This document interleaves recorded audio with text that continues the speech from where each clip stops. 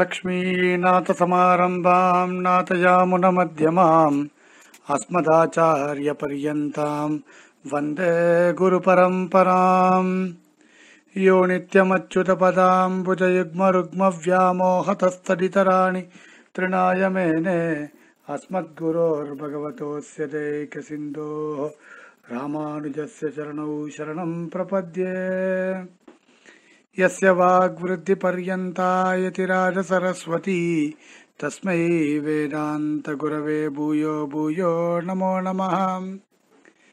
योऽन्तप्रविश्य मम वाचमिमाम् प्रसूप्ताम् सञ्जीवयत्य किल शक्ति दरस्वदाम्नान्यान् सहस्रचरणश्रवणत्वकादीन् प्राणान्नमो भगवते पुरुषाय तस्मै विशुद्धविज्ञानगणस्वरूपम् विज्ञानविश्राननपद्धदीक्षम् दयानिधिम् देहभृताम् शरण्यम् देवम् हयग्रीवमहम् प्रपद्ये। जयत्याश्रितसन्त्रासध्वान्तविद्वंसनोदयः प्रभावान् सीतया देव्या परमव्योमभास्कृतः। கற்பார் ராமபிரானை அல்லால் மற்றும் கற்பரோ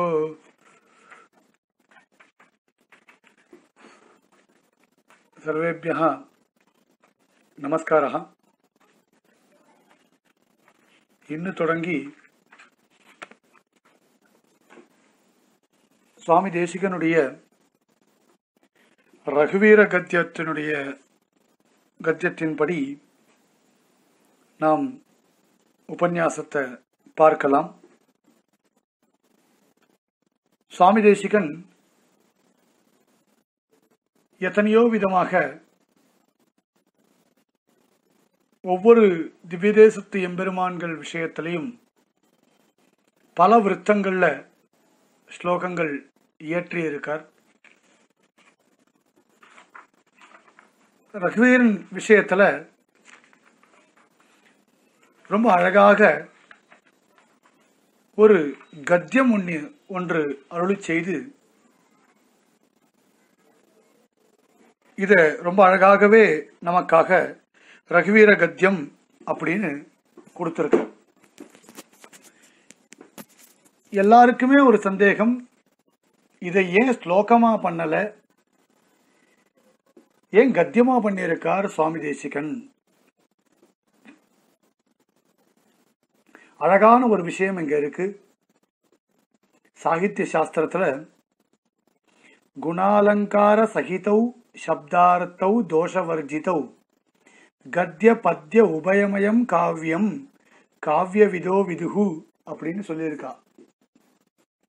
ராமாயணத்தை பத்தியமயமாக நிறைய பேர் அனுபவிச்சிருக்கா. ஆனால் யாரும் கத்தியமயமாக அனுபவிச்சதே இல்லை. வால்மீகி பகவான் காலத்தில் தொடங்கி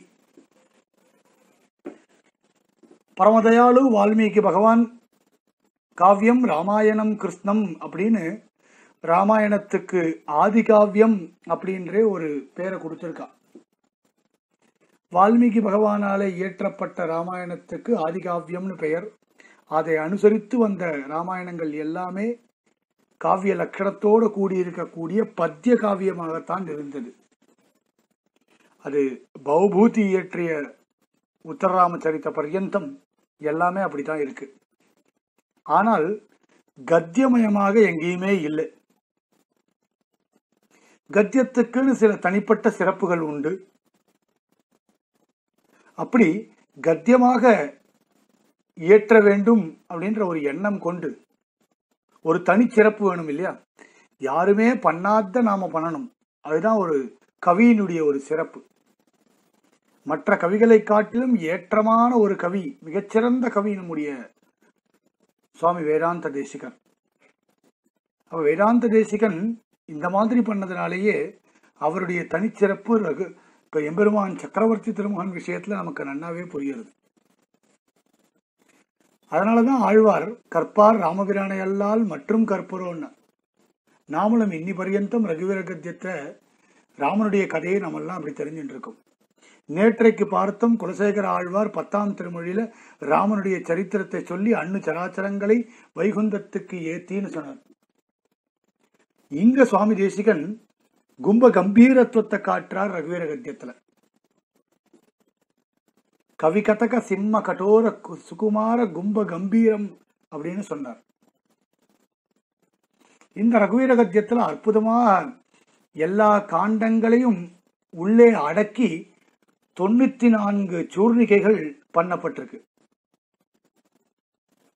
இந்த தொண்ணூத்தி நான்கு சூர்ணிகைகள் இல்லாமல் மூன்று ஸ்லோகங்களும் இருக்கு. ஜெயத்யாசிரித்தன் ஒரு ஸ்லோகம் சதுர்முகேஸ்வர முகைன்னு ஒரு ஸ்லோகம் கவிகதக சிம்மகன் அப்படின்னு ஒரு ஸ்லோகம். இப்படி மூன்று ஸ்லோகங்களையும் கொண்டது இந்த ரவீர கத்தியம் இப்படி கத்தியமாக பண்றதுக்கே ஒரு தனி ஒரு ஒரு ஒரு சாத்துரியம் வேணும். ராமாயணத்துல கத்தியம் எப்பவுமே சிறப்பா இருக்கணும். எம்பெருமானார் சரணாகதி கத்தியம் வைகுண்ட கத்தியம் ஸ்ரீரங்க கத்தியம் அப்படின்னு கத்தியத்ரயம் அருளி செய்தார். எம்பெருமானாருடைய கத்தியத்ரயத்தை போலவே இந்த ரகுவீர கத்தியமும் கம்பீரமா இருந்தபடினால தான் இதுக்கு பெரியவாள் ரகுவீர கத்தியம்னே பேர் வச்சிருக்கா. எல்லா காண்டங்கள்லையும் பார்த்தால் சரணாகதி ரக்ஷணமானது சொல்லப்படுறது. அதனால்தான் ஸ்ரீமத் ராமாயணத்தை சரணாகதி வேதம்னே சொல்லியிருக்கா. அருகி பிராணான் பரித்தியஜ்ய ரட்சிதவ்யா கதஞ்சன. சத்ருவே இருந்தாலும் அடைக்கலம் அப்படின்னு வந்துட்டானால் அவனை நாம் காப்பாற்றியே தீர வேண்டும் அப்படின்னு சொல்லப்பட்டிருக்கு. அதுவும் தன்னுயிரை விட்டாவது காப்பாத்தியாகணும் அதைத்தான் ராமன் பண்ணான் அபயம் சர்வபூதேபியா ததாம் ஏதத் விரதம் மம அப்படின்னு. இந்த சரணாகதி ரக்ஷணம்ன்ற தர்மத்தை அபயப்பிரதானசாரம்ன்ற ஒரு கிரந்தத்தில் சுவாமி தேசிகனே ரொம்ப அற்புதமாக காண்பிச்சிருக்கார். அதுவும் ராமன் பண்ண விபீஷண சரணாகதி. அவனுக்கு சகதர்ம சாரிணியா இருக்கக்கூடிய சீதா பிராட்டி பண்ண திருஜடை சரணாகதி. இது ரெண்டுத்தையுமே நிரூபிச்சு காண்பிச்சார் சுவாமி தேசிகன் அபயப்பிரதான சாரத்துல. அதே சரணாகதி தர்மத்தை அனுஷ்டிக்கிறதுக்காக சர்வஜத்துவமும் பரம காருணிகத்துவம் சர்வசக்தித்துவம் இந்த மூன்று குணங்கள் தேவைப்படுறபடினால ராமன் இன்னைக்கும் மனிதனாக அவதரித்து இருந்தாலும் சர்வேஸ்வரன் ஆனபடியினாலே எல்லாத்தையும் சாதிக்க வல்லவன் அப்படின்றது நமக்கெல்லாம் தெரியுது. அதைத்தான் இந்த ரகுவீர கத்தியம்ன்ற இந்த கிரந்தமும் நமக்கு பறைசாற்றி கொடுக்கிறது. சுவாமி தேசிகனே பவபய பேசத மேத்தத்துன்னு சொன்னான். எந்த விதமான ஒரு பயமும் இருக்காது இந்த ரகுவீர கத்தியத்தை பாராயணம் பண்ணிருந்தால் பெரியவாள் நிறைய வியாக்கியானம் பண்ணியிருக்கா இந்த ரகுவீர கத்தியத்துக்கு பாட்ராச்சார் சுவாமி அவர் மணிப்பிரவாளத்தில் வியாக்கியானம் பண்ணியிருக்கார். திருக்குடந்தை ரங்கநாத பாட்டராச்சார் சுவாமி. தெம்பரை ராஜகோபாலாச்சாரியார் அப்படின்றவர் ரொம்ப அழகாகவே சம்ஸ்கிருதத்தில் ஒரு கம்பீரமாக ஒரு கிர வியாக்கியானம் பண்ணியிருக்கார். இந்த காலத்துக்கு ஏற்றா போல doctor V. N. Desikan Swamin Vedanta Desikan Swamin இந்த காலத்துக்கு ஏற்றா போலேயே ஒரு ஒரு லௌகிகமான ஒரு எல்லாருக்கும் புரியும்படி ஒரு தமிழிலையும் ஒரு வியாக்கியானம் பண்ணியிருக்கார். இந்த உபன்யாசம் முழுவதும் பார்த்தால் இந்த இருக்கக்கூடிய இந்த ஐம்பத்தி மூன்று நாட்களில் ஏன்னால் தொண்ணூற்றி நான்கு காரிகைகள் இருக்கு. ஐ- ஐம்பத்தஞ்சு நாட்களில் உபன்யாசம் பூர்த்தி அடைகிறதாக ஒரு சங்கல்பம். இதை பிரிச்சுண்டு பார்த்தால் மூன்று நாட்கள் குலசேகர ஆழ்வார் பாசுரங்கள் பிரகாரம் நாம் ராமனுடைய சரித்திரத்தை பார்த்தோம். இனி வரும் காலங்களில் தொண்ணூற்றி நான்கு காரிகைகளை ஐம்பத்தி மூன்று ஐம்பத்தி ரெண்டு கா நாட்களில் பிரித்துண்டு இதை உபன்யசிக்கணும். அப்படி பார்த்தால் இன்னைக்கு முதல் ஸ்லோகம் மங்கள ஸ்லோகம். சுவாமி தேசிகன் ரொம்ப அழகாகவே பண்ணுறார் இந்த மங்கள ஸ்லோகத்தை.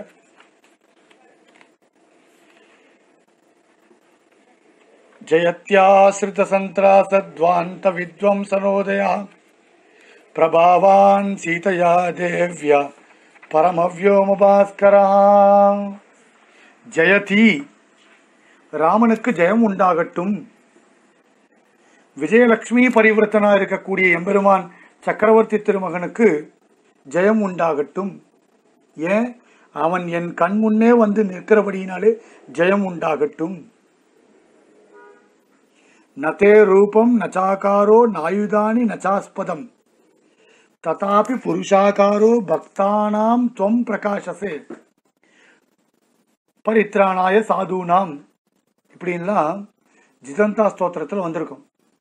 அந்த ஜிதந்த ஸ்தோத்திரத்தில் வந்த விஷயத்தை மனசில் வச்சுண்டு சுவாமி தேசிகன் இந்த மாதிரியான ஒரு ஸ்லோகத்தை ஆரம்பிக்கிறார்.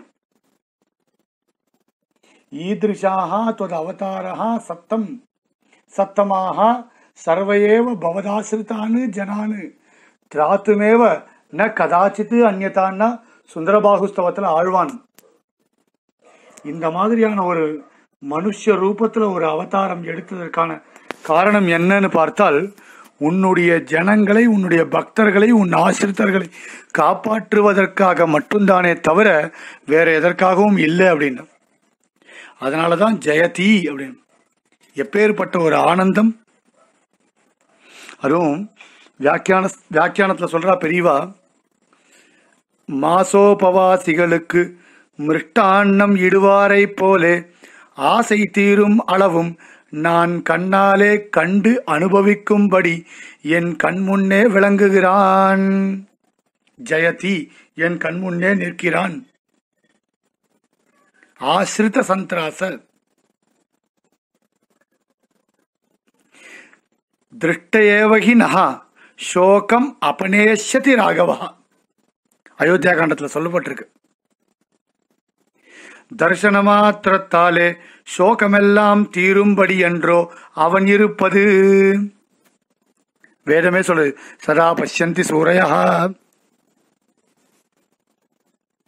எப்பவுமே நித்திய சூரிகள் கண்டு அனுபவிக்கும்படி வைகுண்டத்திலே இருக்கக்கூடிய எம்பெருமான் இன்னைக்கு என் கண் முன்னாடி வந்து நிற்கிறான் சாதாரண ஒரு மனுஷனாக என் கண் முன்னாடி வந்து நிற்கிறான்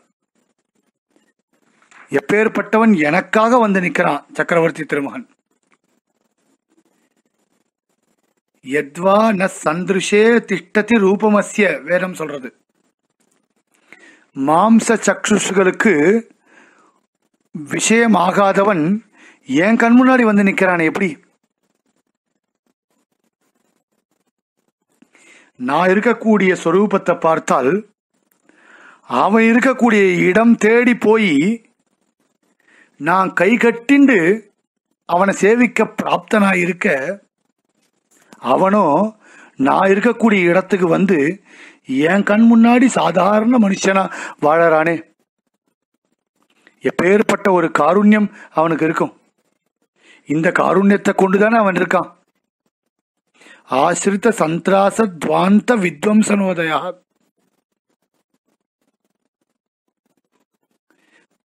பிரபன்னர்களான தேவர்களுக்கு சந்திராச ராவணர்களாலே ஏற்படப்பட் ஏற்பட்ட ஒரு பயத்தை போக்கடிக்கிறதுக்காக எம்பெருமான் இந்த அவதாரத்தை எடுத்தான்.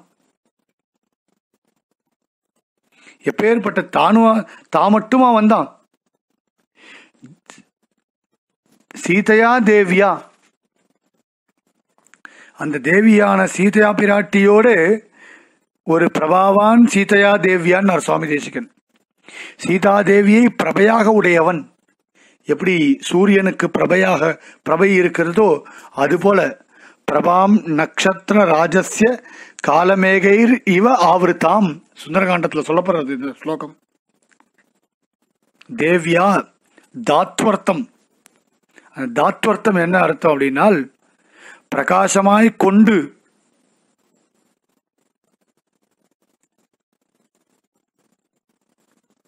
சந்திர பிரபைய போல பிரகாசம் இல்லாமல் இருந்தால் எப்படி? மேகங்களாலே மறைக்கப்பட்ட ஒரு சந்திர பிரபைய போல பிரகாசம் இல்லாமல் இருந்தால்.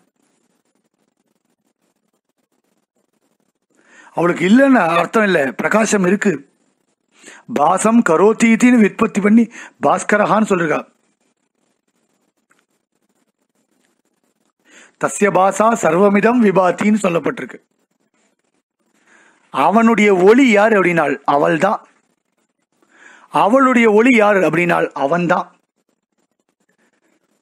அனன்யாகி மயா சீதா பாஸ்கரேன பிரபாயதா. அனன்யேன மயா சீதா பாஸ்கரேன பிரபாயதா. அனன்யாக ராகவேனாகம் பாஸ்கரேன பிரபாயதா. ரெண்டு பேரும் ஒரே மாதிரி சொல்றா. ரெண்டு பேருக்கும் மாத்த மாற்றி பேசவே இல்லை. பரமவியோம பாஸ்கரஹான்னு சொன்னான். சூரியனுக்கும் சக்கரவர்த்தி திருமகனுக்கும் இங்க வித்தியாசம் சொல்லப்படுறது சுவாமி தேசிகனால. சூரியன் இந்த சூரிய மண்டலத்துக்கு மாத்திரம் பாஸ்கரனா இருக்கான். சூரியனா இருக்கான். ஒளி தரக்கூடியவனா இருக்கான். ஆனால் எம்பெருமான் சக்கரவர்த்தி திருமகனோ பிரகிருத்தி அந்தர்கதமா இருக்கக்கூடிய ஒரு லோகத்துக்கும் பிரகிருத்தி அதிக்கிராந்தமா இருக்கக்கூடிய ஒரு வியோமத்துக்கும் பிரகிருத்தி அந்தர்கதம்னா இந்த உலகம். பிரகிருதி அதிகிராந்தம்னா ஈரேழு பதினாலு லோகங்கள் எல்லாத்துக்குமே பாஸ்கரனா இருக்கான் சக்கரவர்த்தி திருமகன் அப்பேற்பட்ட சக்கரவர்த்தி திருமகன் சக்கரவர்த்தி திருமகனை இந்த தொண்ணூத்தி நான்கு சூரிகைகளை கொண்ட சூர்ணிகைகளை கொண்ட ரகுவீர கத்தியத்தினுடைய ஆரம்பத்தில் ஜெயத்யாசிரித சந்திராசா ஜெயதி அப்படின்னு ஆரம்பித்து மங்களாசாசனம் பண்ணுறார் மங்களாசாசனம்னா நேரில் இருக்கக்கூடிய பெருமாளைத்தான் மங்களாசாசனம் பண்ணும். எங்கே பண்ணார்? திருவேந்திபுரத்தில் எழுந்தருளி இருந்த சக்கரவர்த்தி திருமகனை எரு- நேரில் போய் சேவித்து இவர் இந்த ஸ்தோத்திரத்தை இயற்றியதாக ஒரு ஐதிஹ்யம் ரகுவீரகத்திய ராமன்னே பேரவர் அப்ப இந்த ரகுவீரகத்திய ராமன் நேரில் எழுந்தருளி இருந்தபடினாலே அந்த பெருமாள் முன்னாடி நின்று கொண்டு அவன் பெருமைகளை சொல்லி கத்தியத்தினாலே அனுபவித்தார் அவன். அப்படிப்பட்டது இந்த ரகுவீர கத்தியம் அப்படிப்பட்ட இந்த ரகுவீர கத்தியத்த உபன்யாசத்துல இப்பேற்பட்ட சக்கரவர்த்தி திருமகனுடைய பெருமையை சுவாமி தேசிகன் அனுபவித்தா போல நாம் பிரதிதினமும் அனுபவிக்கலாம் இதோட மங்கள ஸ்லோகமும் பூர்த்தியாச்சு நாளைக்கு மற்ற சூர்ணிகள் தாசன் लक्ष्मीनाथसमारम्भाम् नाथयामुनमध्यमाम् अस्मदाचार्यपर्यन्ताम् वन्दे गुरुपरम्पराम् यो नित्यमच्युतपदाम् भुजयुग्मरुग्म व्यामोहदस्तरितराणि तृणाय मेने अस्मद्गुरोर्भगवतोऽस्य देकसिन्धो रामानुजस्य चरणौ शरणम् प्रपद्ये। यस्य वाग्वृद्धिपर्यन्ता इति राजसरस्वती तस्मै वेदान्तगुरवे भूयो भूयो नमो नमः। योऽन्तप्रविश्य मम वाचमिमाम् प्रसूप्ताम् सञ्जीवयत्य किल शक्तिधरस्वदाम्ना अन्यान् सहस्रचरणश्रवणत्वकादीन् प्राणान्नमो भगवते पुरुषाय तस्मै। विशुद्धविज्ञानगणस्वरूपम् विज्ञानविश्राणबद्धदीक्षम् दयानिधिम् देहभृताम् शरण्यम् देवम् हयग्रीवम् अहम् प्रपद्ये। जयत्याश्रितसन्त्रासध्वान्तविद्वंसनोदयः प्रभावान् सीतया देव्या परमव्योमभास्करः। सर्वेभ्यः நமஸ்காரா மகாவீர வைபவத்தினுடைய உபன்யாசத்துல இன்னைக்கு மங்கள ஸ்லோகம் பூர்த்தியாகி முதல் சூர்ணிக்கையுடைய உபன்யாசத்தை நாம் பார்க்கலாம் ஐம்பத்தைந்து நாட்கள் இந்த ராமாயண உபன்யாசம் ஆழ்வார் புனரசு திருநக்ஷத்திரத்திலிருந்து சக்கரவர்த்தி திருமகன் புனரசு திருநக்ஷத்திர பர்யந்தம் இந்த உபன்யாசம் அப்படின்னு பிரதிஜை பண்ணிட்டோம். ஏற்கனவே மூன்று நாட்கள் ஆழ்வாருடைய பெருமாள் திருமொழி பிரகாரம் உபன்யாசமானது பூர்த்தியாச்சு. நான்காவது நாள் ரகுவீர கத்தியத்தினுடைய மங்கள ஸ்லோகம். இன்னு தொடங்கி சூர்ணிகைகளுடைய உபன்யாசம். அடியேன் யோசித்தது மிச்சம் இருக்கக்கூடிய ஐம்பத்தி ஓரு நாட்களில் தொண்ணூற்றி நான்கு சூர்ணிக்கைகளை எப்படியாவது பூர்த்தி பண்ணிடணும் அப்படின்னு. ஆனால் சுவாமி தேசிகன் சூர்ணிக்கைகளை ராமனிடத்திலே வர்ணித்ததை பார்த்தால் ஒரே ஒரு சூர்ணிக்கையே எடுத்துட்டு ஐம்பத்தி ஒரு நாட்கள் உபன்யாசம் பண்ணலாம் போல அமைஞ்சிருக்கு ஒன்று ஒன்றும் ரொம்ப பரிசிரமப்பட்டு பெரியவாள் வியாக்கியானங்கள் பண்ணியிருக்கா ஒன்று ஒன்றுத்துக்கும் எம்பெருமானுடைய எல்லா குணங்களையும் சுவாமி தேசிகன் ஒவ்வொரு சூர்ணிக்கைகளிலும் வர்ணிக்கிறார். எவ்வளவு அழகான கத்தியம். நம்மால் முடிந்தவரை ஒவ்வொரு சூர்ணிக்கைகளாக ஒவ்வொரு நாள் பார்த்துட்டு போகலாம் எங்க இரண்டு மூன்று சூர்ணிக்கைகளை சேர்க்க முடியுமோ அங்க இரண்டு மூன்று சூர்ணிக்கைகளை சேர்த்து கொள்ளலாம். ஐம்பத்தைந்து நாட்களுக்கு மேலே போனாலும் கூட சுவாமி தேசிகனுடைய கிருபா கட்டாட்சம் என்று யோசித்து பெரியவர்கள் அடியேனை க்ஷமித்து அருள பிரார்த்திக்கிறேன். எம்பெருமான் சக்கரவர்த்தி திருமகனுடைய விஷயமாக சுவாமி தேசிகன் கத்தியம் பண்ணியிருக்கார். மற்றவாள் கவியினுடைய ஒரு சாமர்த்தியமே தான் மற்றவாள் யாரும் பண்ணாதது தான் பண்ணணும். இருந்தால் ஏற்கனவே இருக்கு அப்புறம் எதுக்கு பண்ணணும்னு சொல்லிடுவா. காளிதாசன் வால்மீகி பகவான் தசரதனுடைய சரித்திரத்திலேருந்து ஆரம்பித்து பண்ணார். காளிதாசன் திலீபனுடைய சரித்திரத்திலேருந்து ஆரம்பித்து பண்ணான். ரொம்ப அழகாக பண்ணான் பவபூதி உத்தரராம சரித்தம்னு சொல்லி ரொம்ப அழகாக பண்ணான். சம்பு ராமாயணம் போஜராஜன் அவன் ஒரு தனி சைலியில் பண்ணான். கம்பன் தமிழில் மிக அழகாக ராமனுடைய திரு அவதாரத்தை வால்மீகி பகவான் போன பிரகாரம் பண்ணார். மற்ற புராணங்கள்லையும் வால்மீகி பகவானாலே அருளி செய்யப்படாத சில விஷயங்கள் சொல்லப்பட்டிருக்கு. அதன்படி பார்த்தால் சுவாமி தேசிகன் இவர்கள் எல்லாரும் சொன்ன விஷயத்தையும் எடுத்துண்டு கத்தியமாக இதை அருளி செய்திருக்கார். அதில் முதல் சூர்ணிக்கை பார்த்தால் ஜெய ஜெய மகாவீரா. முதல்ல மங்களமாச்சு. ஜெயத்யாசிரித்த சந்திராச கண் முன்னே இருக்கக்கூடிய எம்பெருமான் சக்கரவர்த்தி திருமகனுக்கு ஜெயம் உண்டாகட்டும் ஜெயதி அப்படின்னு சொன்னார். இப்ப அந்த பதம் இருக்கே வெற்றி அப்படின்ற பதம் விஜயம் அப்படின்ற பதம். சக்கரவர்த்தி திருமகனுக்கு சர்வதா நிலைத்து இருக்கட்டும் அப்படின்னு பல்லாண்டு பாடுறார்.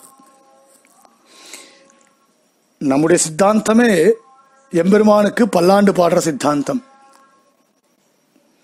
வேதாந்த தேசிகரே இன்னும் ஒரு நூற்றாண்டிரும் அப்படின்னு தான் இன்னி பர்யந்தம் பிரதிதினம் நாம சொல்லிட்டு இருக்கோம் பல்லாண்டு பல்லாண்டு பல்லாயிரத்தாண்டுன்னு ஆழ்வாருக்கும் பல்லாண்டு பாடி ஆழ்வார் பெருமாளுக்கு பல்லாண்டு பாடினார். ஏன் வால்மீகி பகவானே தன்னுடைய கிரந்தத்தினாலே பலம் விஷ்ணோகோ பிரவர்த்தத்தாம்னு விஷ்ணுவுக்கு ஒரு பலம் உண்டாகட்டும் இந்த ராமாயணத்தினாலேன்னு சாதித்தார். அப்படி மங்களத்தை ஜெயத்தியாசிரத்தன்னு பண்ணிட்டு இங்க ஒவ்வொரு குணங்களாக வர்ணிக்கக்கூடிய இந்த சந்தர்ப்பத்தில் சுவாமி தேசிகன் வீரம் அப்படின்னு இருக்கக்கூடிய ஒரு குணத்தை வீரியத்தை வர்ணிக்கிறார். பராக்கிரமம். எதிரிகளும் இவனுடைய ஒரு வீரத்தை புகழ்ந்து பேசினால் அந்த குணம் போற்றத்தக்கது. இப்- மாண்டால் ராவணன் நினைக்கிறான் தம் வந்தே ராகவம் வீரம் நாராயண மனாமயம்னா. எஸ்ய விக்ரமம் ஆசாத்திய ராட்சசா நிதனங்கதாக தம்மன்யே ராகவம் வீரம் நாராயண மனாமயம். வீரராகவன்ற திருநாமத்தை முதல் முதல் எம்பெருமான் சக்கரவர்த்தி திருமகனுக்கு ராவணன் தான் சூட்டினான். திருவள்ளூர்ல சயன திருக்கோலத்துல எழுந்தொழி இருக்காரு அந்த திருநாமத்தை ராவணன் தான் சூட்டினான் பெருமாளுக்கு. ராகவம் வீரம். எப்படின்னா சர்வஸ்மாத் பரத்வம் இருக்கே இந்த குணம். அதே மாதிரி ரக்ஷகத்துவம்ன்ற குணம். இதெல்லாம் புருஷோத்தமனா இருக்கக்கூடிய சக்கரவர்த்தி திருமகனுக்கு விளங்கிறது அப்படின்னால் வீரியம் இருந்தால் தான் விளங்கும். ஏன்னா மற்ற குணங்கள்லாம் வர்ணிக்கிறதுக்கு முன்னாடி இந்த குணத்தை வர்ணிக்கணும். பிரிவால் வியாக்கியானத்தை சொல்றா தாத்பரிய லிங்க லிங்கம்னு இருக்கு அது ஆறு விதமா சொல்லியிருக்கா. உபக்ரம உபசம்ஹார அவ உபக்ரம உபசம்ஹார உபசம்ஹாரோ அபியாசா அபூர்வதா பலம். அர்த்தவாதோ உபபத்தி லிங்கம் தாத்பரிய நிர்ணயன்னு இந்த தாத்பரியத்தில் ஆறு விதமாக சொல்லியிருக்கான் அதில் எம்பெருமான் ராமன் எம்பெருமான் அதாவது ஸ்ரீவைகுண்டத்தில் இருக்கக்கூடிய பகவான் ஸ்ரீமன் நாராயணனே தான் சக்கரவர்த்தி திருமகனாக அவதாரம் பண்ணியிருக்கான் யார் அவன்? சகல ஜென்ம ஜெகத் ஜென்மாதி காரணமாக இருக்கக்கூடியவன். அண்ட சராச்சரங்களையும் வைகுந்தத்துக்கு ஏற்றினார்களே ஆழ்வார். அப்படி அண்ட சராச்சரங்களுக்கும் அதிபதியா இருக்கக்கூடியவன் சக்கரவர்த்தி திருமால் அவன் எப்படிப்பட்டவன்? சமஸ்த கல்யாண குணங்களுக்கும் ஆசிரியமா இருக்கக்கூடியவன் இருப்பிடமா இருக்கக்கூடியவன். அகில உபனிஷத் யா- உபனிஷத் ஏகவேத்தியமா இருக்கக்கூடிய எல்லா உபனிஷத்துகள்லையும் சொல்லக்கூடிய பெருமாள் அவன்தான். முமுட்சுக்களுக்கு தேயமா இருக்கக்கூடியவன். அப்படிப்பட்ட வைகுண்டாதிபதியான வைகுண்ட லோகாதிபதியான ஸ்ரீமன் நாராயணன் ராமனாக அவதரித்திருக்கிறான்றதை காட்டுறதுக்காகத்தான் வால்மீகி பகவான் வேதோப பிரம்மணார்த்தாய தவ அக்ரஹாயத்த பிரபுன்னு சொன்னார். இதிகாச புரா- புராணாபியாம் வேதம் சமூக பிரம்மையே தவள். வேதத்தில் காட்டியிருக்கக்கூடிய எம்பெருமானுடைய நடத்தையானது நம்மளால புரிஞ்சிக்க முடியாது. ஆனால் வால்மீகி பகவானாலே காட்டப்பட்ட சக்கரவர்த்தி திருமகனுடைய குணங்கள் நம்மளா நம் குணங்களாலே நாம் உபனிஷத்தில் பிரதிபாதிக்கப்பட்ட பிரம்மத்தினுடைய நடத்தையை புரிஞ்சுக்கலாம். சர்வசக்தன் சர்வசரண்யன் சர்வஸ்மாத் பரன் இதெல்லாம் உபனிஷத்தில் சொல்லியிருக்கு. சர்வசக்தன் யாருன்னு கேட்டால் கஸ்ய பிப்யதி தேவாஸ்ய ஜாதரோஷஸ்ய சயுகே எவனை கண்டால் தேவர்களும் நடுநடுங்குவார்களோ அவன் சர்வசக்தன். சர்வ சரண்யன் அப்படின்னா அபயம் சர்வபூதேபியா ததாமியே தத் விரதம் மம. அதனால உபனிஷத்துல சொல்லப்பட்ட பிரம்மத்தினுடைய நடத்தையை புரிஞ்சுக்கிறது ரொம்ப கஷ்டம். ஏன்னா அது வேதாந்தம். ஆனால் ராமாயணத்திலே பகவான் வால்மீகியாலே காட்டப்பட்ட ராமன் விஷயமாக நாம் தெரிந்து கொண்டால் நமக்கு உபனிஷத்துல சொல்லப்பட்ட பிரம்மத்தினுடைய குணங்கள் நம் கண் முன்னாடி நிற்கும் ராமனால. அப்படி குணங்களை சொல்லக்கூடிய இந்த பிரகரணத்தில்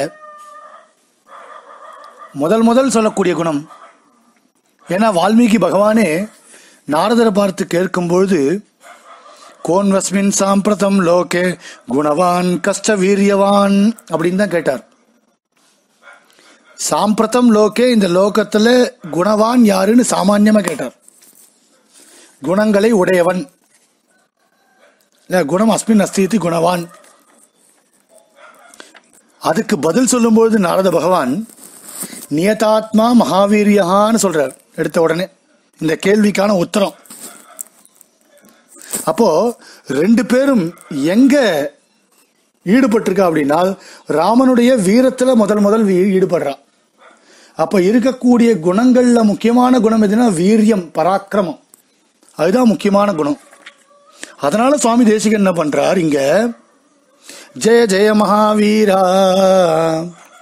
மகாவீரா அப்படின்னு சம்போதன பிரதமையில கூப்பிடுறார் ஜனகன் மிதிலா நகரத்துக்கு விஸ்வாமித்திரரோட ரெண்டு பேரும் போறா.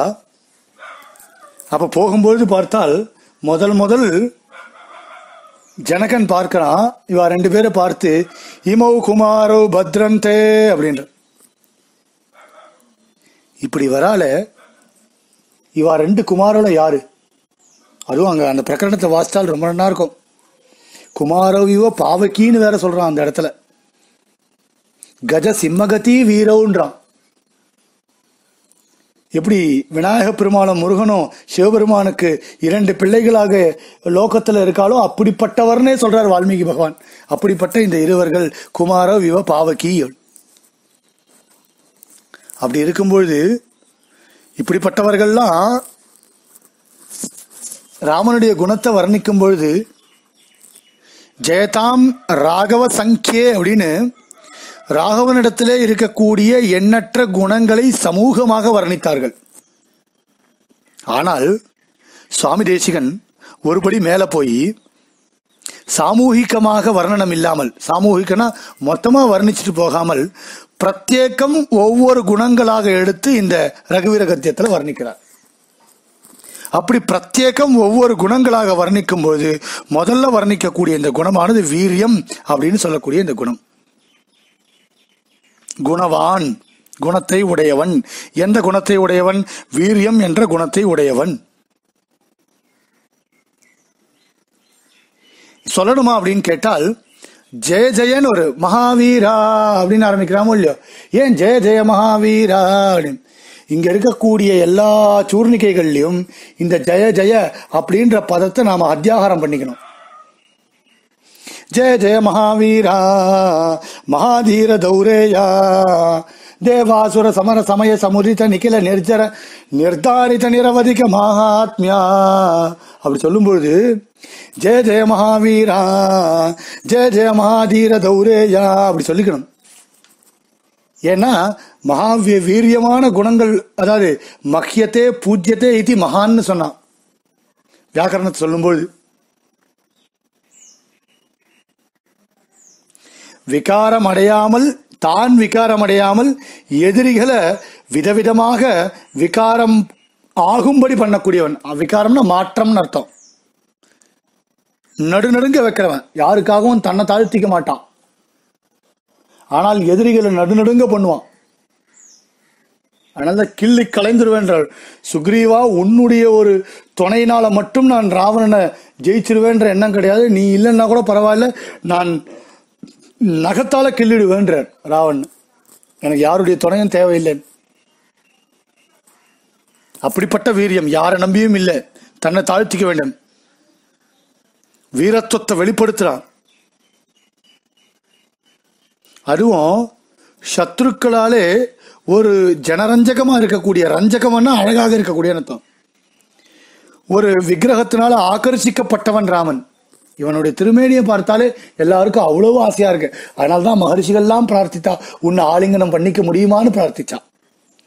ஆலிங்கனம் பண்ணிக்க முடியுமான்னு பிரார்த்திச்சால் அடுத்த ஜென்மத்தில் தான் வரணும்னு சொல்லி அடுத்த யுகத்தில் அவர்கள்லாம் கோபியர்களாக அவதரித்தார்கள்னு புராணங்கள் சொல்றது. அப்போ பத்ரம் தே அப்படின்னு ஜனக மகாராஜன் ஏன் சொன்னான் அப்படின்னால் இவர்கள் இந்த இவர் இவர்களுடைய வீரத்தை நினைக்கும் பொழுது இவர்களுடைய திருஷ்டி பற்றுமோ மற்றவர்கள் மேல் இருக்க மற்றவர்களாலே இவர்களுக்கு திருஷ்டி பற்றுமோ அப்படின்றதுனால திருஷ்டி தோஷத்தை கழிக்கிறதுக்காகவே ஜனகன் பத்ரம் தேன்னு சொன்னான். அதே தான் இங்கே சுவாமி தேசிகன் ஜெய ஜெய மகாவீரா அப்படின்னு கண்ணெச்சிலானது பற்றுமோ அப்படின்னு திருஷ்டி பட்டுடுமோன்ற பயத்தினாலே சுவாமி தேசிகன் இந்த இடத்துல ஜெய ஜெய மகாவீரா ஜெயம் உண்டாகட்டும் அப்படின்னு சொல்றார் இந்த இடத்துல. ஆகையினால இந்த முதல் குணம் வீரியம் அப்படின்ற குணமானது இந்த வீரத்துவம் அப்படின்ற இந்த மகாவீரனா இருந்தால் மட்டும்தான் இந்த திருஷ்டி தோஷமானது வராது அப்படின்ற ஒரு கருத்துல சுவாமி தேசிகன் இந்த குணத்தை நிரூபிச்சார் தாசன். நாளைக்கு பார்க்கலாம். லக்ஷ்மீநாதசமாரம்பாம் நாதயாமுன மத்தியமாம் அஸ்மதாச்சாரிய பரியந்தாம் वन्दे गुरुपरम्पराम्। यो नित्यमच्युतपदाम्बुजयुग्मरुग्मव्यामोहतस्तदितराणि तृणाय मेने। अस्मद्गुरोर्भगवतोऽस्य देकसिन्धोः रामानुजस्य चरणौ शरणम् प्रपद्ये। यस्य वाग्वृद्धिपर्यन्ता यतिराजसरस्वती तस्मै वेदान्तगुरवे भूयो भूयो नमो नमः योऽन्तप्रविश्य मम वाचमिमाम् प्रसूप्ताम् सञ्जीवयत्य किल शक्तिधरस्वदाम्ना अन्यास्तहस्तचरणश्रवणत्वकादीन् प्राणान्नमो भगवते पुरुषाय तस्मै विशुद्धविज्ञानगणस्वरूपम् विज्ञानविश्राणबद्धदीक्षम् दयानिधिम् देहवृताम् शरण्यम् देवम् हयग्रीवमहम् प्रपद्ये। जयत्याश्रितसन्त्रासध्वान्तविद्वंसनोदयः प्रभावान् सीतया देव्या परमव्योमभास्करः। सर्वेभ्यः नमस्कारः।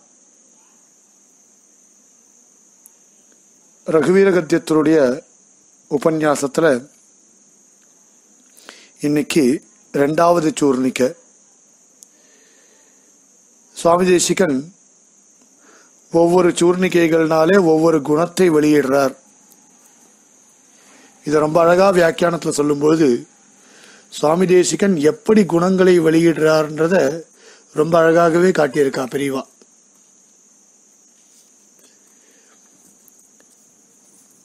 போன சூர்ணிக்கையில் ஜெய ஜெய மகாவீரா வீரா அப்படின்னு விழி அப்படின்னு தமிழில் சொல்லுவா. விழி விழிப்பது. அழகான தமிழ் சொற்கள்லாம் இன்னைக்கு அண்டை மாநிலங்களில் எடுத்துட்டு இருக்கா நாம கூப்பிடுறதுன்னு வச்சுட்டு இருக்கோம் விழிக்கிறது அப்படின்னா ஆச்சரியத்தோடு அழைக்கிறது. இன்னைக்கும் மலையாளத்துல இருக்கு அந்த பாஷை அந்த வார்த்தை இருக்கு. இல்லம் அப்படின்னால் நாம் இருக்கக்கூடிய வீட்டுக்கு பேர். தமிழில் வீடுன்றா தெலுங்குல இல் அப்படின்றா. அழகான தமிழ் சொற்களை எல்லாம். அது மாதிரி போன விழி வீரத்தை பத்தி பேசிட்டு இந்த ரெண்டாவது சூர்ணிக்கைகள்ல சூர்ணிக்கையில் இரண்டாவது வெளியாக சொல்லப்பட்டது தீரத்தை பத்தி பேசுறது. மகாதீர தௌரேயா. மகாதீர தௌரேயன். அழகான அர்த்தம் பார்த்தால் எந்த நிலைமையிலையும் சித்த கலக்கம் உடல் நடுக்கம் குழப்பம் எதுவுமே இல்லாத மாதிரி யார் ஒருத்தன் தன்னை காட்டிக்கொள்கிறானோ அவன் தீரன் அப்படின்னு தீர சப்தத்துக்கு காளிதாசன் லட்சணம் சொல்றான். விகாரஹேதோ சதி விக்ரியந்தே ஏஷாம் ந சேதாம்சி தயேவ தீரா. விகாரஹேதௌ சதி விக்ரியந்தே ஏஷாம் ந சேதாம்சி தயேவ தீராக விகாரஹேதௌ சதி கலக்கம் ஏற்படுறதுக்கு மாறுதல்கள் ஏற்படுறதுக்கு சந்தர்ப்பங்கள் அமைந்தால் கூட யாரு தன் மனதளவிலையும் மாறுதல் அடையாமல் இருக்கானோ அவன்தான் தீரன். பெரிவாள் வியாக்கியானத்தில் ஆரம்பத்தில் மகாதீர தௌரேயான்றதுக்கு சமாசம் பண்ணும்போது மகாந்தஸ்ச தே தீராஸ்ச அப்படின்னு பண்ணான் மகாதீராக அப்படி. தேஷு தௌரேயா தஸ்ய சமபுத்திகி முதல் நாள் ராத்திரி கூட்டுட்டு உனக்கு பட்டாபிஷேகம்னு சொல்லி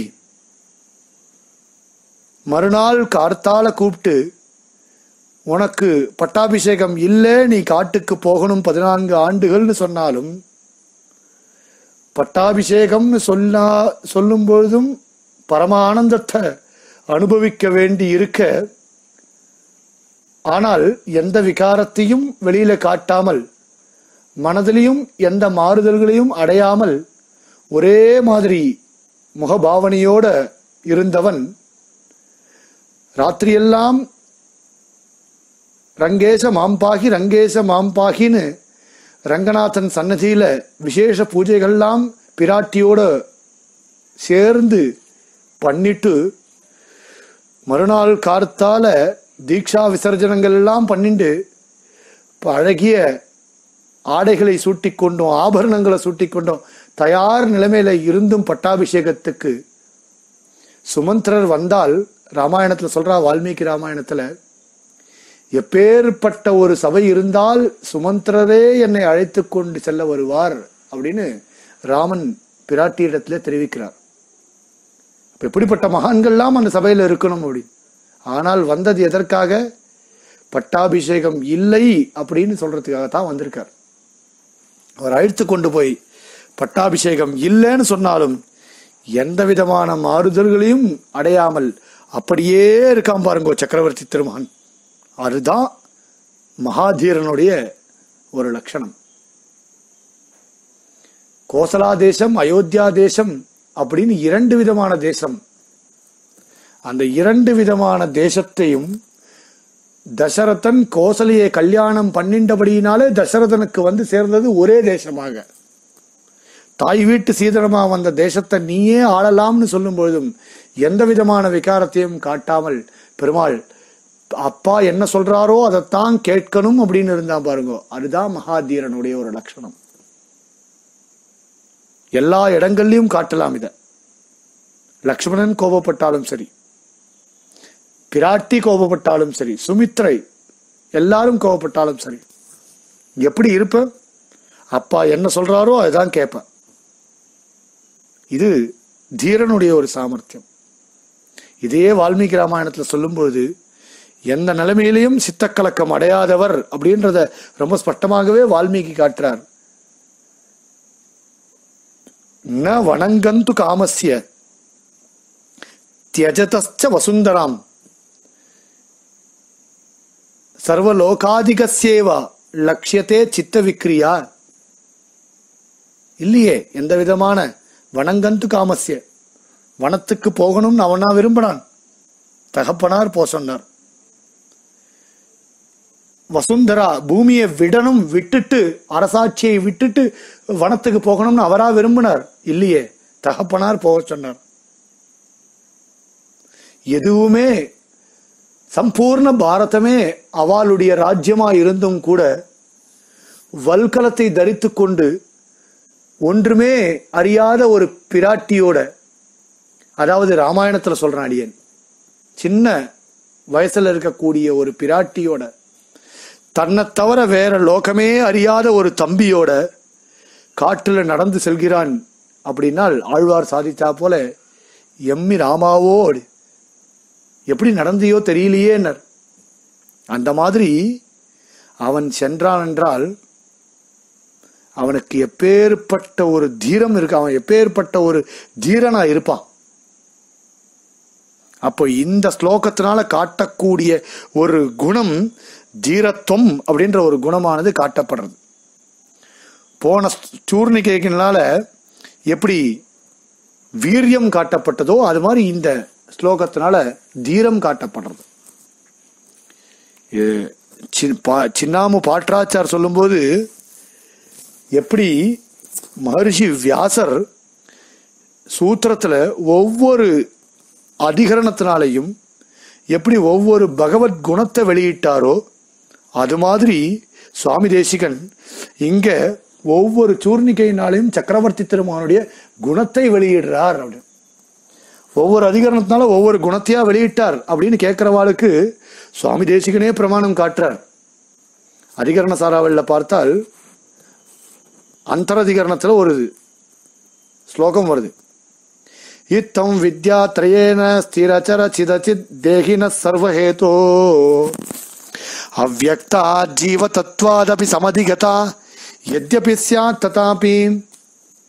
उत्थानद्वार भेदात् क्रमतैह मृदूपक्रमान् क्रूरनिष्ठान् अध्यायेऽस्मिन् निरुन्धन् अधिकरणगणैः தத்குணான் உத்கிருணாதி தத்குணான் உத்கிருணாதி தத்து அந்த பரமாத்மாவுடைய குணங்களை இவை- இவையெல்லாம் உத்கிருணாத்தி மேல் நோக்கி அழைத்துச் செல்கிறது வெளியிலே காட்டுகின்றனன் அதே மாதிரி இந்த தொண்ணூத்தி நான்கு சூர்ணிகைகளும் இங்க ஒவ்வொரு சக்கரவர்த்தி திருமகனுடைய ஒவ்வொரு குணத்தை காட்டுகிறது. அதை தான் இங்க சொல்லும் பொழுது இந்த ரெண்டு ம- ஜெய ஜெய மகாவீரான்றதுனாலையும் மகாதீர தௌரேயான்றதுனாலையும் பார்த்தால் சர்வசக்திமத்துவத்தை காட்டப்படுறது. பெருமாள் சர்வசக்திமான் அப்படின்றத இங்க சொல்றா. சக்திமான் அப்படின்னால் புஜபல பராக்கிரமத்தோடு இருந்தால் மட்டும் சக்திமான்றது ஆயிடாது. மனசளவிலையும் எந்த விதமான விகாரமும் அடையாமல் இருக்கக்கூடியவன் தான் சக்திமானா இருக்க முடியும். வெறும் வில்லு அம்பு எடுத்துண்டு சண்டை போடுறவன் மட்டும் சக்திமான் கிடையாது. எந்த நிலையிலையும் மனசுல தப்பான எண்ணங்கள் ஓடக்கூடாது. இந்திரிய நிகிரகம் பண்ணணும். புலன்களை எவன் ஒருவன் அடக்கி வைக்கிறானோ அவன்தான் சக்திமான். உடலளவுல சக்தி இருந்தால் பத்தாது மனதளவுல சக்தி இருக்கணும். அவர் தான் சக்திமான ஆக முடியும். அப்படி இருந்தானா அப்படி இருந்துதான் கேட்டால் ரெண்டுத்தையுமே இங்க சுவாமி தேசிகன் காட்டினார். மகாவீரான வீரியத்துவம் காட்டப்பட்டது அவனுடைய வீரம் காட்டப்பட்டது இந்த இடத்துல மகாதீரான அவனுடைய தீரத்துவம் காட்டப்படுறது. அப்போ பகிர்வியாப்பியனாகவும் இருக்கக்கூடிய பெருமாள் அந்தர்வியாபியனாகவும் இருக்கக்கூடியவன் பெருமாள்னு சொல்லி எப்படி எம்பெருமான் ஸ்ரீமன் நாராயணனுக்கு நாமெல்லாம் சாஸ்திர சித்தாந்தத்தை ஏற்படுத்தி கொடுத்தோமோ அந்தர்பகிஸ்து தத் சர்வம் வியாபிய நாராயணஸ்திதான் சொன்னமோ அது மாதிரி இந்த இடத்துல சுவாமி தேசிகன் மகா மகா ஜெய ஜெய மகாவீரா மகாதீர தௌரேயான்னு சொல்ற ராமாயணத்துல ஆஞ்சநேயர் காட்டின விஷயம் இது. பிரம்மா ஸ்வயம்பூ சதுரான நோவா சதுரானனோவா ருத்ரஸ்திரிடேத்ரஸ்திரிபுராந்தகோவா இந்திரோ மகேந்திர சுரநாயகோ வா திராத்தும் நசக்தா யுதி ராமவத்தியம் பிரம்மா யாரா இருக்கட்டும் யுத்தத்திலே ராவணா உன்னை காப்பாற்ற முடியாது அப்படின்னு ஸ்பஷ்டமாவே சொல்றார். அப்பிரகம்பிய ஆத்ம தைரியேன சங்கடேஷு மகத்வபி ராமபத்ரேன தேனாஸ்மி நாதவான் புவனத்திரையே ரொம்ப அழகா சொன்னா இந்த இடத்துல. ராமபத்திரனால தான் இருக்க முடியும் இதெல்லாம் இன்னொரு இடம் சொல்லும்பொழுது கதன்னு சீரம் பத்னந்தி முனையோ வனவாசினஹாம் அயோத்தியா காண்டத்தில் வருது. நீ ஏன் இப்படி பிராட்டி பிராட்டியை பார்த்து கேட்குறாரு நீ எப்படிமா என்னோட வருவ? உனக்கு வல்கலம் உடுத்த தெரியுமா? உன்னால வர முடியுமா? எனக்கு வல்கலம் உடுத்த தெரியாதுன்னா ஜனங்கள் கேட்குறா உனக்கு எப்படி போய் இருப்ப? வல்கலம் எப்படி உடுத்து? உனக்கு ஒன்றுமே தெரியாதே. உன் அவங்க ஆத்துக்காருக்கு எப்படி வல்கலம் உடுத்த தெரியும்? அப்படின்னால் வல்கலத்தை உடுத்த தெரியாதுன்னா இல்லையா? தஸ்யா தத் சிப்ர க்ஷிப்ரமாகம்ய ராமோ தர்மபிருதாம் வரா. சீ சீரம் பபந்த சீதாயா. கௌஷேயஸ்யோபரி ஸ்வயம். பெருமாள் தான் ஓடி வந்து வல்கலத்தை உடுத்தி விடுவாராம். அப்ப ஜனங்கள்லாம் கதறா. அப்ப ஜனங்கள்லாம் கண்ணீரும் கண்ணில் கண்ணீருமாக கதறிக்கொண்டிருக்கும் பொழுது கூட பபந்தைவ ததா சீரம் சீதையா துல்லிய சீலையா? அந்த சமயத்தில் உடனே எந்த விதமான கலக்கத்தையும் ஜனங்கள்லாம் கதறாளே அப்பா ஒரு பக்கம் கதறா அம்மாவெல்லாம் ஒரு பக்கம் கதறா நாம் ஏன் போகணும்? காட்டுக்குன்னு யோசிக்காமல் சீதைக்கு வல்கலத்தை உடுத்தி விட்டு தானும் வல்கலத்தை உடுத்தி கொண்டு உடனே கிளம்பி போயிட்டான். எந்த விதமான சோகத்தையும் வெளிப்படுத்தால் சிரிச்சுட்டே இருந்தானே. அப்ப இந்த மாதிரியான ஒரு சமபுத்தி அந்த புத்தி உடைய எம்பெருமான சக்கரவர்த்தி திருமகன் ஜெய ஜெய அப்படின்னு சொல்றார் சுவாமி தேசிகன். ஜெய ஜெய மகாவீரா மகாதீர தௌரேயா. அதனாலதான் சொல்லும்போது அனுசங்கிக்கணும்னு சொன்னான். முதல்ல சொன்ன ஜெய ஜெயான்றது இந்த மகாதீர தௌரேயாலும் ஜெய ஜெய அப்படின்னு வரணும்னு சொன்னான். சோகம் நேர்கையில் தளராதவன் தீரன் ராமன் மகாதீரன் அப்படின்னு இங்க ரொம்ப ஸ்பஷ்டமாகவே காண்பிச்சு கொடுக்கிறார் சுவாமி தேசிகன். இதோட இன்னைக்கு உபன்யாசத்தை பூர்த்தி பண்ணிக்கலாம். நாளைக்கு பார்க்கலாம் அடுத்த சூழ்நிலை தாசன். लक्ष्मीनाथसमारम्भां नाथयामुनमध्यमाम् अस्मदाचार्यपर्यन्तां वंदे गुरुपरम्पराम्। यो नित्यमच्युतपदां भुजयुग्मरुग्मव्यामोहदस्तरितराणि तृणाय मेने अस्मद्गुरोर्भगवतोऽस्य देकसिन्धोः रामानुजस्य चरणौ शरणं प्रपद्ये। यस्य वाग्वृद्धिपर्यन्ता यतिराजसरस्वती। तस्मै वेदान्तगुरवे। भूयो भूयो, नमो नमः। योऽन्तप्रविश्य मम वाचमिमां प्रसूप्ताम् सञ्जीवयत्य किल शक्तिधरस्वदाम्नाम् अन्यासहस्रचरणश्रवणत्वकादीन् प्राणान्नमो भगवते। पुरुषाय तस्मै विशुद्ध विज्ञान गण स्वरूपम विज्ञान विश्राण बद्ध दीक्षम दयानिधिम देहभृताम शरण्यम देवम हयग्रीवमहम प्रपद्ये जयत्याश्रित संत्रासद्वांत विद्वंसनोदयाम प्रभावान् सीतया देव्या परमव्योमभास्करः। सर्वेभ्यः नमस्कारः। ரகுவீர கத்தியத்தில் மூன்றாவது சூர்ணிகை இன்று உபன்யசிக்கப்படுகிறது. தேவாசுர சமர சமய சமுரித நிகில நிர்ஜர நிர்தாரித நிரவதிக மகாத்மியா. இரண்டு விதமான பாடம் இங்கே பெரியோர்களாலே சொல்லப்பட்டிருக்கு. தேவா அப்படின்னு ஒரு சூர்ணிக்கை தனியாகவும் மகாசமர சமய சமுரித நிகில நிர்ஜர நிர்தாரித நிரவதிக மகாத்மியா அப்படின்னு நான்காவது சூர்ணிக்கையாகவும் தனித்தனியாக கூட பாடங்கள் இங்க சொல்லப்பட்டிருக்கு.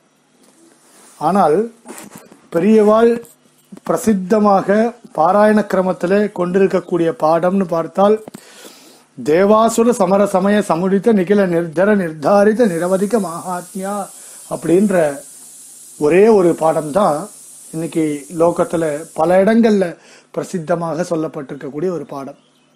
அதன்படியே நாம உபன்யாசத்தை பார்க்கலாம். இந்த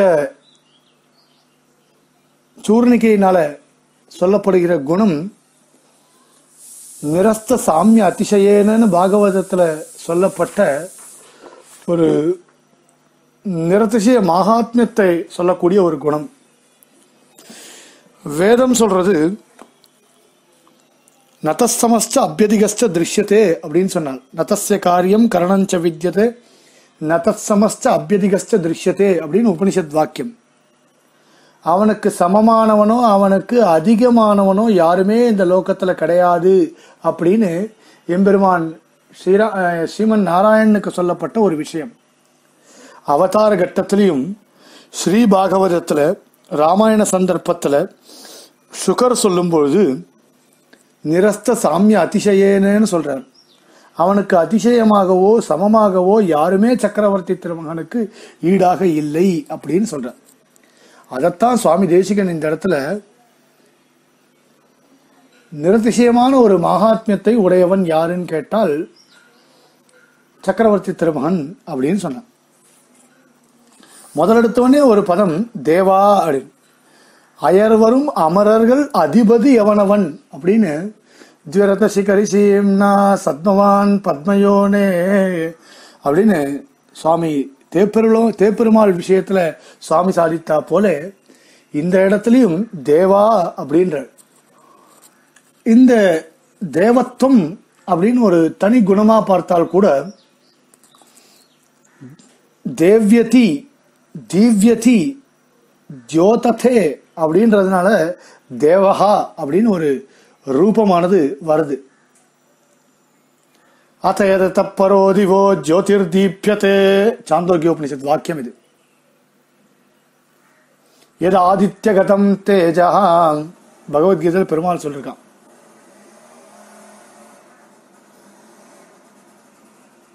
அப்பிரமேயம் ஹிதத்தேஜா ராமாயணத்திலே வருது.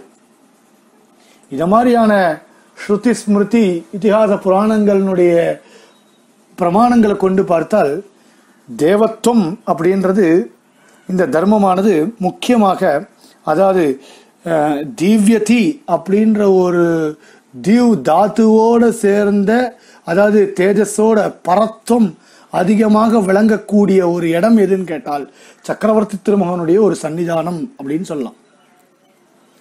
பரத்துவம் அப்படின்னால் தன் விஷயத்தில் பரத்துவம் இல்லை ஆசிரித்தர்களை ரட்சிப்பதில் இருக்கக்கூடிய பரத்துவம்.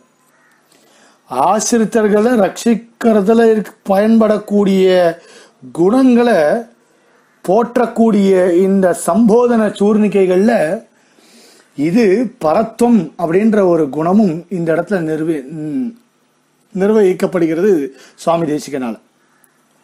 தீவியத்தின்னு பார்த்தால் இன்னொரு அர்த்தம் பார்த்தால் கிரீடத்தின்னு அர்த்தம். விளையாட்டாவே செய்யறான். இது எல்லாத்தையும் லீலையா செய்யறான். பாஷ்யக்காரே சொல்றாரு அகில புவன ஜென்ம ஸ்தேம பங்காதி வினத விவித பூதவ்ராத ரக்ஷைக தீக்ஷே ஸ்ருதி சிரசி விதீப்தே பிரம்மணி ஸ்ரீனிவாசே பவத்து மம பரஸ்மின் சேமுஷி பக்தி ரூபா. அகில புவன ஜென்ம ஸ்தேம பங்காதி லீலேன்னு சொன்னார் பாஷ்யக்காரன் லீலையாவே பண்றான் எதை? சிருஷ்டி ஸ்திதி பிரளயத்தை. லீலையா பண்றான். அதனால தீவியத்தின்ற தாத்துவுக்கு கிரீடத்தின்னு ஒரு அர்த்தம் உண்டு. இதே சூத்திரகாரரும் நிரூபிச்சார் லோகவத்து லீலா கைவல்யம்ன்ற சு- பிரயோஜனத்துவாதிகரண சூத்திரத்திலும் நிரூபிச்சார் சூத்திரக்காரன் இன்னொன்னு தேவகான்ற இடத்துல தீவியத்தின்றதுக்கு விஜிகீஷத்தின்னு அர்த்தம். சர்வதா ஜேத்தும் இச்சா ஜிகீஷா. எப்பவுமே வெற்றியை தன்வசமாக்கிக் கொள்ள ஆசைப்படக்கூடியவன் அர்த்தம். நாவிஜித்ய நிவர்த்தந்தே அயோத்தியாகாண்ட் நிவ நாவிஜித்ய நிவர்த்ததே அயோத்தியாகாண்டம். அதாவது ராமன் போருக்கு புறப்பட்டால் வெற்றி கொள்ளாமல் திரும்ப மாட்டான்னு அர்த்தம். அப்போ வெற்றியை தன்வசமா தன்வசமாக்குபவன் தீவியத்தினா விஜிகீஷத்தின்னு ஒரு அர்த்தம். தீவியத்தினா விவகாரத்தின்னு ஒரு அர்த்தம் பண்ணியிருக்கா பெரியவா. விவகாரத்தினா நல்ல திறம்பட பேசக்கூடியவன் அர்த்தம். ஏதோ வளரக்கூடாது. கண்டபடி சம்பந்தமே சம்பந்தம் இல்லாமல் சம்பந்தா சம்பந்தம் இல்லாமல் வளரக்கூடாது. சந்தர்ப்பத்துக்கு தகுந்தா போல பேசணும். எந்த விஷயமா இருந்தாலும் திறம்பட விசாரிக்கணும் ஆலோசிக்கணும் சாதக பாதகங்களை ஆலோசித்து முடிவு பண்ணணும். புத்திமான் வால்மீகி சொல்றாரு. புத்திமான் நீதிமான் வாக்மி மதுரபாஷி பூர்வபாஷி பிரியம்வதா இதெல்லாம் வந்து வால்மீகி ராமனுக்கு கொடுத்திருக்கக்கூடிய ஒரு பிருதங்கள் அதே விஷயத்தை இந்த இடத்துல சுவாமி தேசிகனும் காட்டுறார். உத்தரோத்தர யுக்தினாம் வக்தா வாச்ச பத்திரியத்தாடு அயோத்தியா காண்டத்துல வருது. தீவ்யதி அப்படின்னால் பிரகிருஷ்ட கவனவான்னு அர்த்தமா? இன்னொரு அர்த்தம். பராக்கிரமத்தோடு நடப்பான். நடக்கும்பொழுது கஜ கஜ சிம்மகதி வீரவு மத்த மாதங்க காமினம் அப்படின்னு ஜனகன் சொல்கிறான் சிம்ம விக்ராந்த காமினம்லாம் இருக்கு ராமாயணத்திலே. இதெல்லாம் வால்மீகியினுடைய அனுபவம். ஆச்சாரியர்களுடைய கிரந்தங்கள்லாம் பார்த்தால் நம்மாழ்வாருடைய ந- நம்பெருமாள் ரங்கநாதனுடைய ஒரு அழக பெரியவாள்லாம் அவ்வளவு வர்ணிச்சிருப்பா நடை அழக. பாதுகாசகசரம் பூர்த்தியா அதுதானே இருக்கு. திவ்ய தேவ ஏகோ நாராயணஹான்னு சொல்லிட்டு மகோ மகோபனிஷத்துல. அப்படிப்பட்ட எம்பெருமான் ஸ்ரீராமச்சந்திரமூர்த்தியினுடைய பராக்கிரமத்துவமானது நிரூபிக்கப்பட்டது. சரி இப்படிப்பட்ட பராக்கிரமத்துவமானது வேற யாருக்காவது இருக்கா அப்படின்னால் அதை தான் இங்க சொல்றா நிரஸ்த சாமியாதிசயனு. தேவாசுர சமர சமய சமுதித நிகில நிர்ஜர நிர்தாரித நிரவதிக மகாத்மியா. தேவாசுரனுடைய யுத்த காலங்களில் சங்கீபூதர்களாக சேர்ந்து கொண்டிருக்கக்கூடிய சமஸ்த தேவர்களாலேயும் நிர்ணயிக்கப்பட்ட நிரஸ் நிரதிசய மகாத்மியத்தை உடைய எம்பெருமான் சக்கரவர்த்தி திருமகன் சொல்றார். ராவணனை வதம் பண்றதுக்கு தகுந்த ஒரு ஒரு சக்தி யாருக்கிட்ட இருக்கும் அப்படின்னு கேட்டால் தேவர்கள் முடிவு பண்ணா ராமனிடத்துல மட்டும்தான் இருக்கும் அப்படின்னு. அதெல்லாம் முடிவு பண்ண முடியுமா அப்படின்னு கேட்டால் உத்தரராமாயணத்துல வருது இதெல்லாம். முன்கூட்டியே முடிவு பண்ணிட்டான். உத்தர ராமாயணத்துல அஞ்சாவது ஆறாவது சர்க்கத்தில் சொல்லப்பட்டிருக்கு இதெல்லாம். தத்தஸ்துதே ராட்சவ புங்கவாஸ்திரயோ நிஷாச்சரைஹி புத்திர சதைஷ்ட சம்வృతా சுரான் சகேந்திரான் ரிஷிநாயகாக்ஷான் பபாதிரேதான் பகுவீரிய ராமன் எப்படி முடிவு பண்ணான்னா மாலி சுமாலி மால்யவத்து இவாளெல்லாம் அவன் வதம் பண்ண காரணத்தினால தைர் வத்தியமானாக தேவாஸ்த ரிஷயஸ்த தபோதனாக பர்யாத்தார் சரணம் ஜக்முஹு தேவதேவம் மகேஸ்வரம். இவாளையெல்லாம் மாலின்னு ஒருத்தன் சுமாலின்னு ஒருத்தன் மால்யன் ஒருத்தன். இவாளையெல்லாம் வதம் பண்ணதை பார்த்த உடனேவே அவ முடிவு பண்ணிட்டா. என்னன்னு முடிவு பண்ணிட்டா? ராவணனை வதம் பண்றதுக்கு தகுந்த ஆள் யாருன்னு கேட்டால் சா- சாட்சாத் சக்கரவர்த்தி திருமகன் தான் அவரிடத்துல போய் சரணம் புகுந்துட்டா. ஏதமேவ சமுத்தியோகம் புரஸ்கிருத்திய மகர்ஷ மகர்ஷய. கச்சத்வம் சரணம் விஷ்ணும் ஹனிஷதி சதான் பிரபு. நேர போயிட்டா உன்னை தவிர வேற யாரும் கிடையாது. அனிஷதி உன்னாலத்தான் அவன் கொல்லப்பட வேண்டும். விஷ்ணோ சகாசம் ஆஜக்முஹு நிஷ நிஷாச்சர பயார்த்திதாக ராட்சசர்கள்னாலே பயம் ஏற்பட்டவர்கள் விஷ்ணுவினிடத்திலே சென்றார்கள் அப்படின்னு சொல்லியிருக்கா. அப்போ தேவர்களாலே முடியாதுன்னு தெரிந்து கொண்டு இல்லையா? இப்படி போயிருக்கா அப்படின்னால் அப்போ சக்கரவர்த்தி திருமகனுக்கு எப்பேற்பட்ட பலம் இருக்கும்? ஒரு மகாத்மியம் சொல்லப்படுறது அவனுக்கு மட்டுமே. நிரதிசய மகாத்மியமானது சொல்லப்படுறது. சில கோஷங்களில் பார்த்தால் ஏற்கனவே சொன்ன மாதிரி தேவா அப்படின்னு ஒன்று தனி மகா சமரசமயா அப்படின்னு ஒன்று இதெல்லாம் சேர்த்து வச்சு என்ன பண்ணிட்டா தேவாசுர சமர சமய அப்படின்னு பண்ணிட்டா. தேவான்றது தீவியத்தின்ற தாத்துலே வந்ததுன்னு ஏற்கனவே பார்த்தோம்.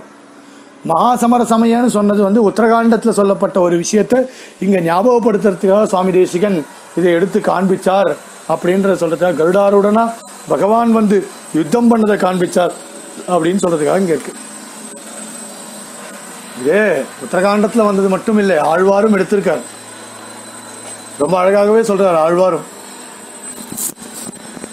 தாங்கரும் போர் மாலை படப்பறவையோர்ந்து தராதலத்தோர் குறை முடித்து தன்மையானை ஆங்கு அரும்பி கண்ணீர் சோர்ந்து அன்பு கூறும் அடியவர்கட்கு ஆரமுதமானான் தன்னை. கோங்கரும் புசுர புன்னை குறவார் சோலை. குழாவரி வண்டு இசை பாடும் பாடல் கேட்டு தீங்கரும்பு கண் வளரும் கழனி சூழ்ந்த திருக்கோவலூர் அதனுள் கண்டேன் நானே. அப்படின்னு இந்த உத்தரகாண்டத்தில் சொல்லப்பட்ட இந்த கதையை பெரிய திருமொழியில் ஆழ்வாரும் காட்டுறார்.